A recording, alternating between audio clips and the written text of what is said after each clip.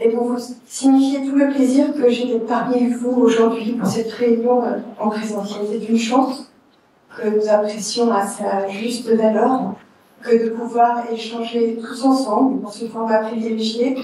Et je tiens à remercier vivement l'équipe du bureau de la francophonie du ministère des Affaires étrangères et de la coopération internationale autour de M. Michel Bonira pour cette organisation. Avant toute chose, je souhaiterais adresser à l'OIF, au nom de l'ambassade de France, nos plus sincères condoléances suite à la disparition subite de M. Tchékou Souman, son directeur régional. Et je remercie Mme Trinity Mayenne d'être présente aujourd'hui, alors que la situation est évidemment extrêmement difficile. Vous le savez, le, président de la République française a, dès le début de son premier quinquennat, érigé la francophonie de la langue française en priorité politique, en témoignant de la stratégie pour la langue française et le plurilinguisme présentée le 20 mars 2018 à l'occasion de la Journée internationale de, la francophonie, ainsi que dans son intervention au, sommet d'Arena. Alors que le 18e sommet de la francophonie approche à grands pas, nous devons ensemble porter les grandes priorités que nous avons collectivement assignées à la francophonie. Je commencerai bien entendu par euh, évoquer la langue française, socle de la francophonie, dont la promotion reste prioritaire. Cela passe bien entendu par la promotion de la langue que nous avons en partage et le, renforcement de sa visibilité et de sa crédibilité comme langue d'avenir, d'employabilité et de réussite. En un mot, de son attractivité. Nous avons pu échanger de façon euh, très constructive mercredi dernier lors du forum de la francophonie 2022 organisé par le ministère de l'Éducation, de la Jeunesse et des Sports, qui a réuni plus d'une centaine de participants. Je les remercie pour cette euh, opportunité d'échange et d'information qui est offerte aux principaux acteurs de la francophonie éducative du Cambodge. Concrètement, cela passe tout d'abord également par le renforcement et l'extension de l'apprentissage de la langue française au Cambodge. Le plan global pour le français 2022-2025, signé le 20 mars dernier entre notre ambassade et le ministère de l'Éducation, de la Jeunesse et des Sports, sera notre feuille de route. Renforcement de la formation initiale des enseignants avec la consolidation du master euh, de l'enseignement français ouvert en 2019 et l'accompagnement à l'ouverture de la première licence d'enseignement du français, licence plus 4, à l'Institut national du Guinée en 2023 sont pour nous des axes essentiels. La pérennisation des formations continues des enseignants français, qui connaissent un succès grandissant auprès des enseignants du pays, est également essentielle. Depuis 2019, l'Institut français du Cambodge et l'ambassade de France avons accueilli environ chaque année 300 enseignants français autour de formations de renforcement linguistique et pédagogique. Enfin, la modernisation du programme des classes bilingues, avec la mise en place d'un diplôme internationalement reconnu au niveau du baccalauréat, le DALUFA, et une meilleure formation des enseignants de disciplines non linguistiques seront le troisième axe du Fonds de solidarité pour les projets innovants, FSPI, qui sera déposé en novembre prochain auprès du ministère des Affaires étrangères par cette ambassade. Par ailleurs, la France se réjouit de l'adoption à venir lors du sommet de la francophonie d'une déclaration sur la langue française qui, à l'instar de la déclaration de Bamako, texte normatif de la francophonie en matière de démocratie, compile nos engagements passés et les scelles pour l'avenir. Ce texte rappellera d'ailleurs ces deux volets de notre action, l'enseignement du et en français, dont vient parler Madame Mayenne, et la promotion de la langue, y compris en matière économique et numérique. En effet, l'économie et le numérique seront au cœur du sommet de la francophonie placé sous les champs de la collectivité.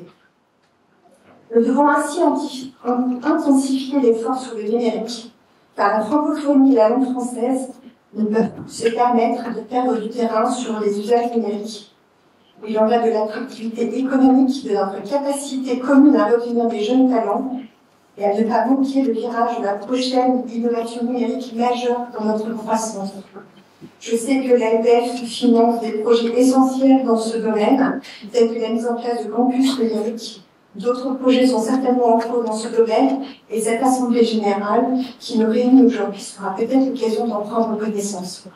Plus généralement, nous devons faire entendre la voix des francophones cambodgiens sur les défis auxquels nous faisons face et donc les enjeux globaux, par exemple en matière de défense de l'environnement, de coopération culturelle et internationale, d'égalité entre les femmes et les hommes et de santé. À cet égard, j'attire votre attention sur la création d'un podcast francophone, le 15 minutes, un quart d'heure dédié à la francophonie au Cambodge et à ceux qui la font vivre aujourd'hui. Tel est son slogan, mis en place par l'Institut français du Cambodge, qui est diffusé depuis le début de l'année 2022. Plus d'une vingtaine de podcasts avec des activités pédagogiques liées sont accessibles sur son site internet et les réseaux sociaux. Et plusieurs d'entre vous nous ont déjà fait l'honneur d'en être euh, les invités. J'ai en face de moi Par ailleurs, au cours de ces trois dernières années, euh, TV5 Monde, télévision internationale francophone que vous connaissez, est également venue à trois reprises pour donner la parole aux francophones cambodgiens qui œuvrent en faveur de l'éducation à Battambang, Siem Reap et Phnom Penh, mais également dans les domaines aussi variés que la danse, l'architecture, l'édition, la formation médicale, les ONG, les filières universitaires et la formation linguistique des casques bleus cambodgiens. Vous avez été plusieurs à accepter immédiatement de répondre positivement à notre invitation à participer à cette destination francophonie animée par Ivan Kabakov.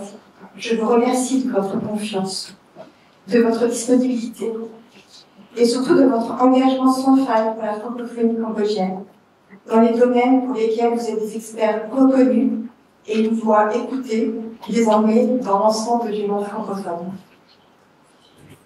Je souhaiterais, je souhaiterais également mentionner un dernier enjeu, celui du respect du multilinguisme, valeur fondamentale des Nations Unies.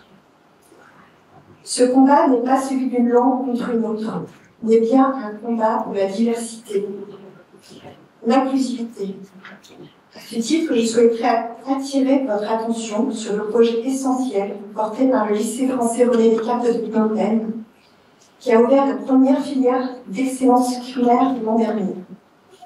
En parallèle de la section internationale américaine, cette filière a pour objectif, d'ici au maximum 5 ans, d'ouvrir un baccalauréat international trilingue français-anglais-khmer afin de permettre aux élèves qui ont reçu une formation d'excellence dans nos établissements de pouvoir envisager des études supérieures et une intégration dans le monde professionnel cambodgien avec un niveau solide dans leurs trois langues.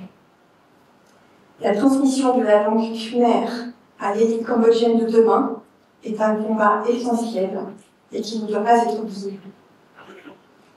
Votre Excellence, Mesdames et Messieurs, chers amis, je tiens à, saluer vos actions en faveur du renforcement de la visibilité de la francophonie au Cambodge, au plus proche des francophones du royaume et surtout de la jeunesse qui ne l'est pas encore.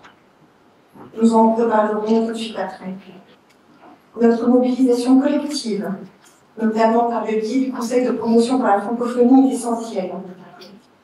Je vous remercie à nouveau pour votre invitation à cette Assemblée générale et vous félicite pour votre engagement, chacun, tous, individuellement, collectivement, en faveur de la coopération francophone. Vive la francophonie.